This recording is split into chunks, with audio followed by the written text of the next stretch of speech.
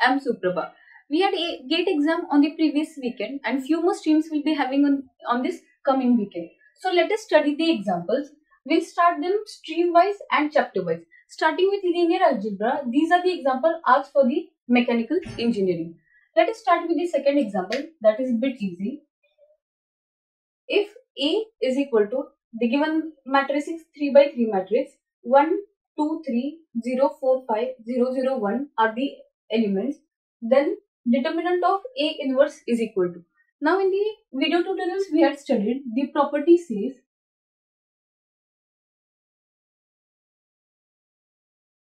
determinant of A inverse is equal to 1 divided by value of that determinant that is denoted by determinant of A. So let us find out the value of determinant that is 1 in bracket 4 into 1 minus 0 into 5 is 0 minus 2 this will be entire 0 similarly plus 3 this will be 0 into 0 minus 0 into 4 that will be 0 so we get 1 into 4 these terms will be 0 so the value of given determinant is 4 let us divide 1 by the value of determinant. We get 1 divided by 4 is 0 0.25. So determinant of A inverse is 0 0.25. So this is the ideal or the unique solution. Now one more way to find out the value of determinant is if we have upper triangular or lower triangular matrix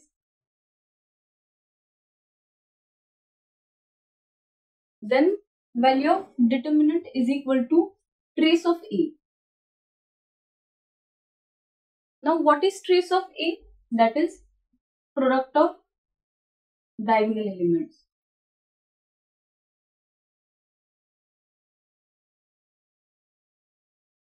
Now if you see the question, the given matrix is upper triangular matrix.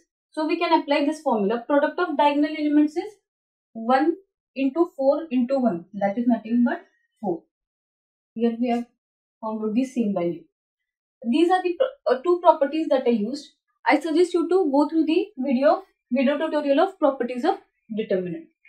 Let us now switch off, switch to the first example. Rank of matrix minus 4, 1, minus 1, minus 1, minus 1, minus 1, 7, minus 3, 1 is. Now we, we have seen in the previous video tutorials to find out the rank of matrix, we first convert the given matrix into upper triangular matrix. To convert the given matrix into upper triangular, we need these elements equal to 0. Before we do so, what we'll do is we'll shift second row upward because the calculation will be easy. So if we shift the answer will be or the resulting matrix will be minus 1 minus 1 minus 1 minus 4 1 minus 1 7 minus 3 1 now as i told we want to convert this matrix into upper triangular matrix. For this we'll first convert this element that is the element 7 into 0 to do so we'll apply first elementary operation that is this is the row 3, R3 is equal to R3 plus 7 R1. This is row 1. If we multiply this element by 7 and add it to 7, we will get 0. So the resulting matrix will be, first two rows will be as it is, as we are performing elementary operation on row 3. So this is, I'll simply write it down, 7 plus 7 into minus 1 so that gives 7 minus 1, 0. 7 minus 7, 0. This is minus 3 plus 7. We have this is minus 1. So this will be minus 3 minus 7 is minus 10. This element will be minus 10 and the last will be 1 plus 7 into minus 1 that is minus 6. Now we have this element equal to 0. Let us now switch to this element minus 1 and make it equal to 0.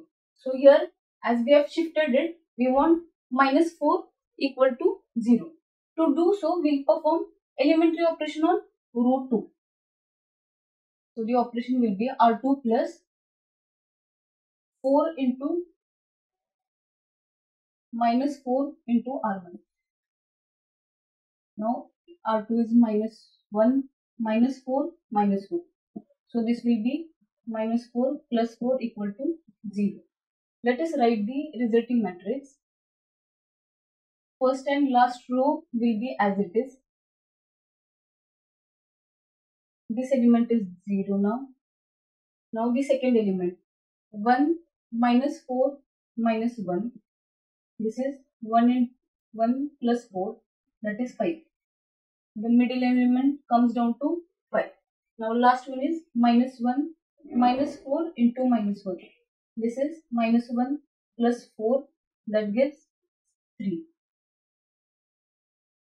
Now let us convert this element to 0.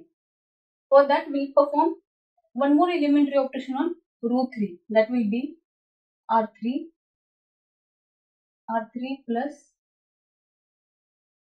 10 R, R2. For this matrix this will be 2 R2.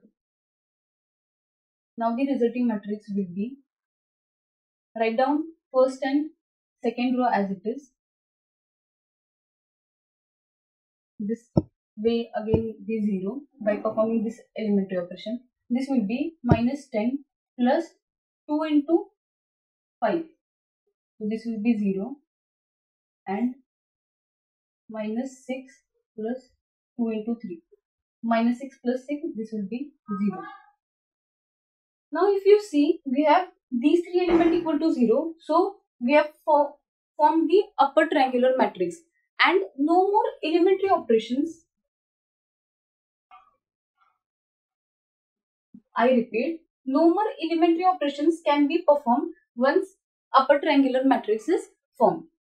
Now check, we have two linearly independent rows. In the resulting matrix, we can conclude that we have two linearly independent rows.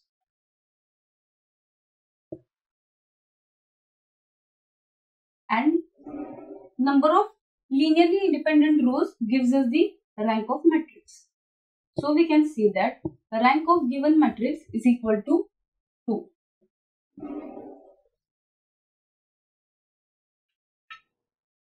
Now there is one more alternative method of finding the rank of matrix. We just studied that.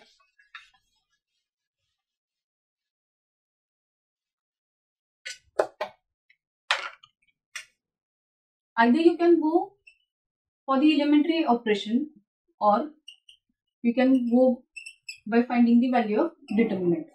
In the theory lecture we had seen for 3 by 3 matrix if the value of determinant is not equal to 0, the rank is 3.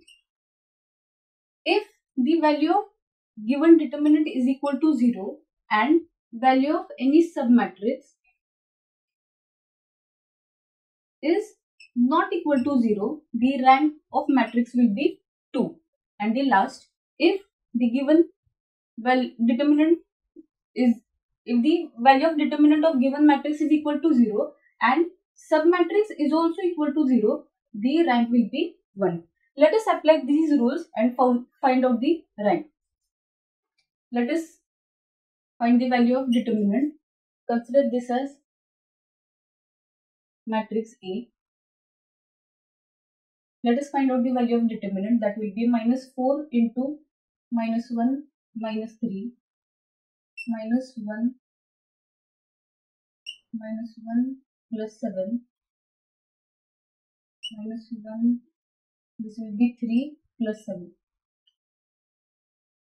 minus 4 into minus 4 minus 3 into 6 minus 1 into 10 so this will be minus 16 minus 6 minus this will be plus sorry 16 minus 6 minus 10 this will be 16 minus 60 so the value of determinant or value of given matrix, determinant of given matrix becomes 0.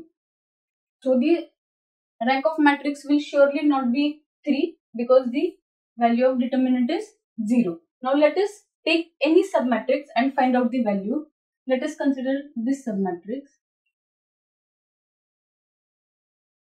1 minus 1 minus 1 minus 1.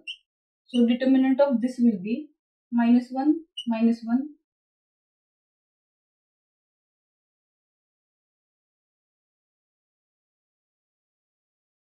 So this is minus 2.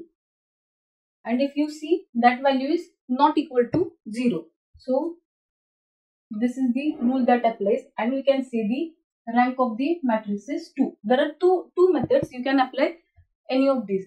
There are two more examples that we'll see in the next video. All the best. Thank you. Thank you for watching my video. Hope you understood the concept. For any doubts and suggestions, please let me know in the comment box. For more details, you can refer these videos. Guys, help us to help you. So please like my video, share with your friends and don't forget to subscribe to our channel. Thank you.